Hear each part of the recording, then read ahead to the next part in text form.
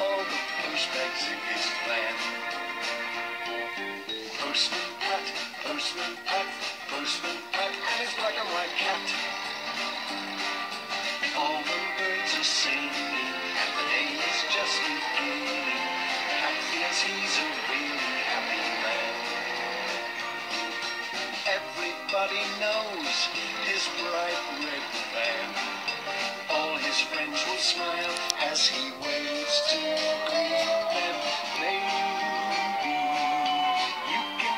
never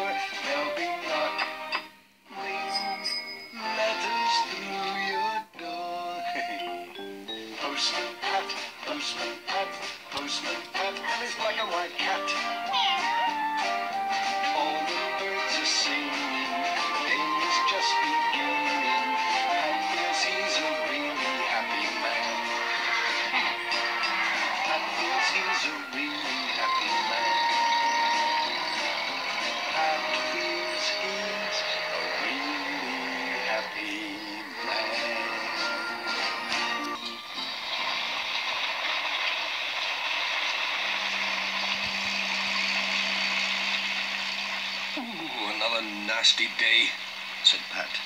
Jess looked out at the rain. He hated wet days. What a day. Wet letters, wet everything. It was still raining when Pat reached the village post office.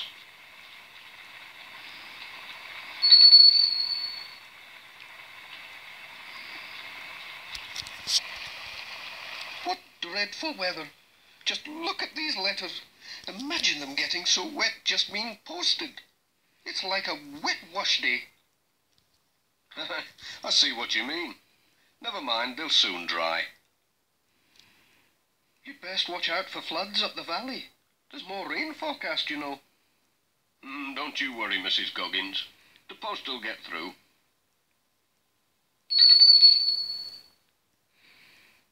Oh, it stopped raining. Cheerio. Pat was on his way.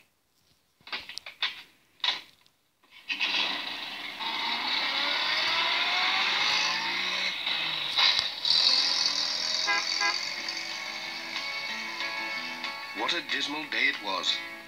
Some people still had lights on indoors.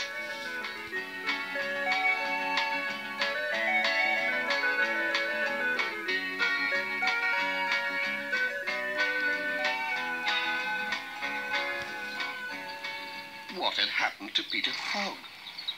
Pat stopped to find out. It's this blooming rain. My old tractor's bogged down in the bottom meadow. It's half flooded down there. Then I went and fell in the mud. you look as if you've had a bath in it. I just about have. I'm off home for some dry clothes, then I'll get the new tractor to pull the old one out. Good luck, said Pat. I think it's fairing up now. Cheerio.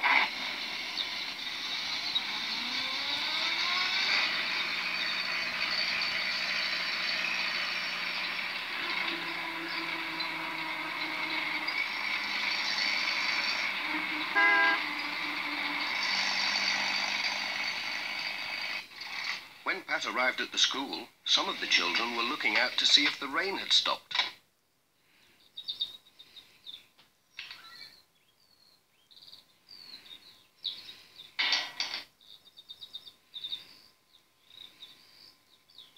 He was surprised to see Charlie Pringle running out for the letters instead of Bill Thompson. Hello, Charlie. Where's Bill then? He's off school today. They say there's flooding up at Thompson Ground. He'll be helping his dad get the sheep in. Well, don't drop the letters. They've already had one wetting.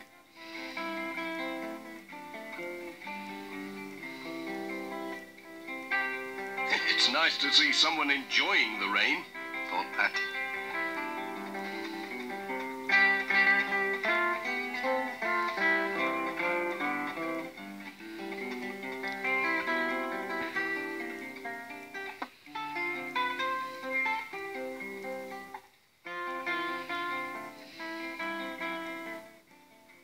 Whoops!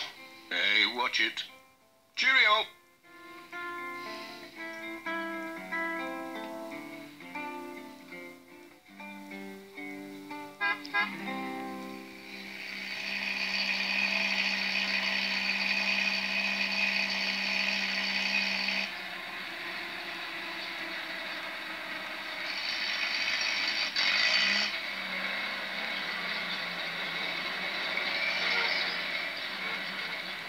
Greendale Farm, he saw Peter Fogg again.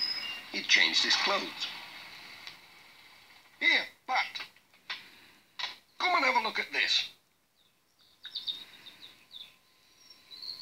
He showed Pat his new tractor with its bulldozer blade. This'll shift anything, he said.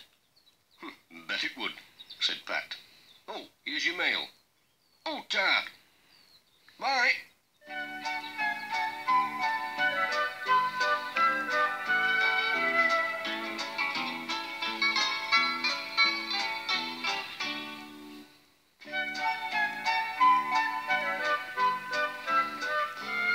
The Reverend Timms was having trouble with the rain too.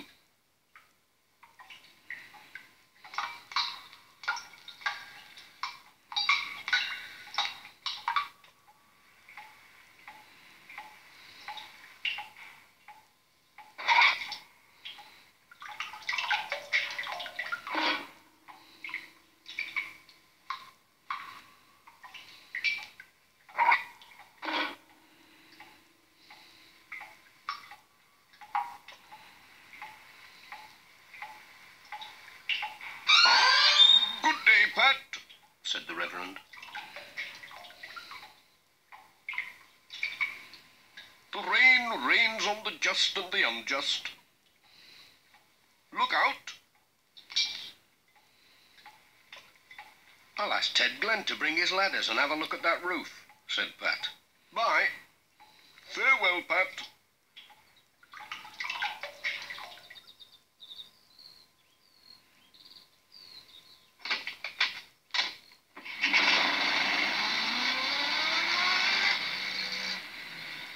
Sam Waldron was just along the road.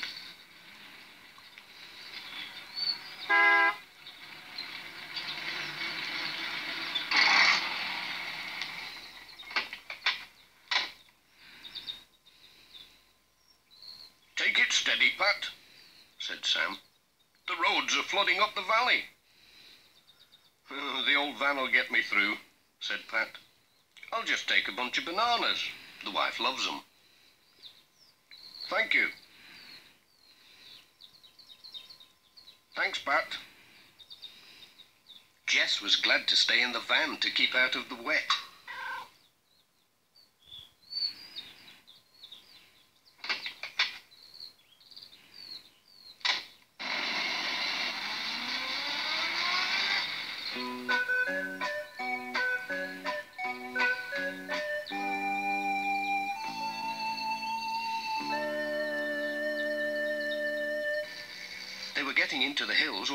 Mrs. Thompson standing in the road waving to make them stop.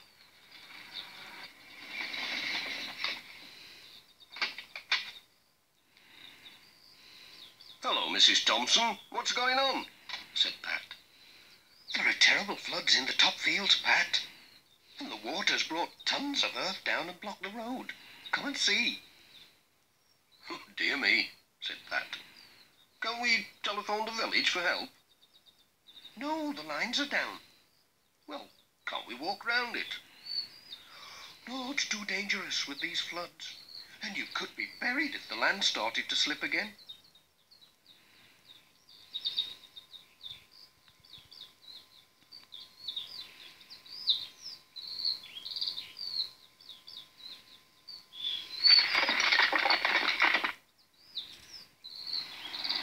Here comes Alf. He's going to try to get through with his tractor.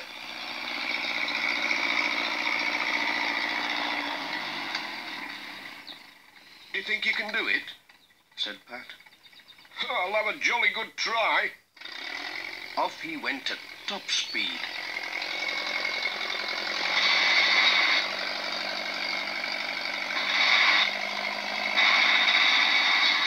And got stuck.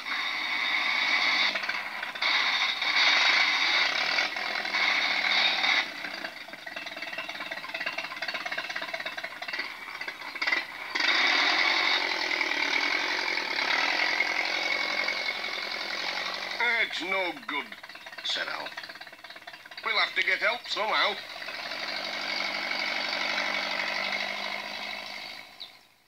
Then Bill with model aeroplane.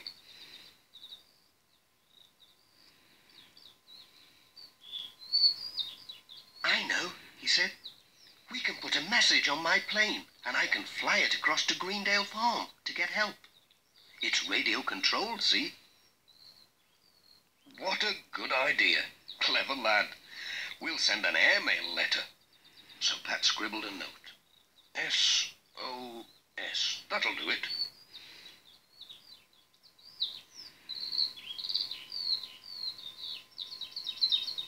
Tied it to the plane with a bit of Alf's binder twine. Good luck. Let's hope it gets through. Oh, I think he'll manage it. He's a clever lad. He built it himself, you know. Bill started the engine. And off it flew.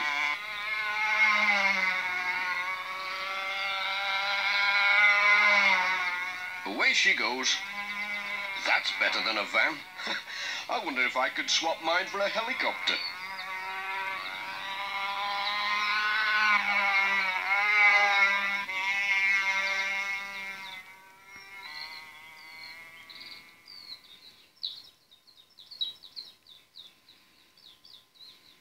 It seemed ages since the plane had gone. Pat was just thinking it must have crashed when he heard a powerful engine coming up the road on the other side of the blockage.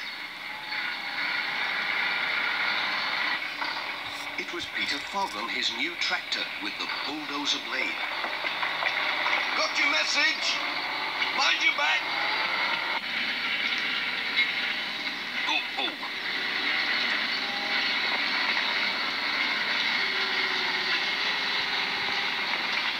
Thanks, Peter. Right! Pat waved Sam Waldron through. There was just enough room.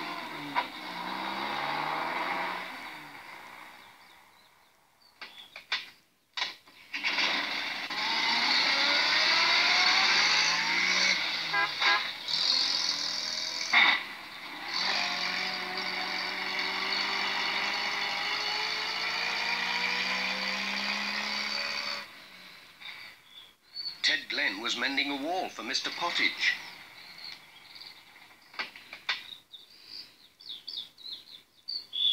Pat had remembered something. Can you go and have a look at the church roof, Ted? The Reverend's got the church full of buckets. I'll pop along when I've finished this wall. Blooming rain. It makes no end of work. Miss Hubbard was on her way to choir practice. I'd turn back if I were you, said Pat. or you might have to swim home. Swim? said Miss Hubbard. It'll take more than a drop of rain to stop me. And on she went.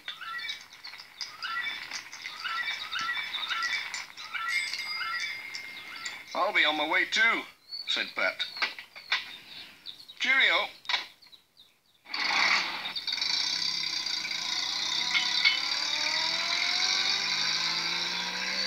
As Pat wound his way along the valley, it looked like rain again. But there was a warm fireside to look forward to. when all the letters had been delivered.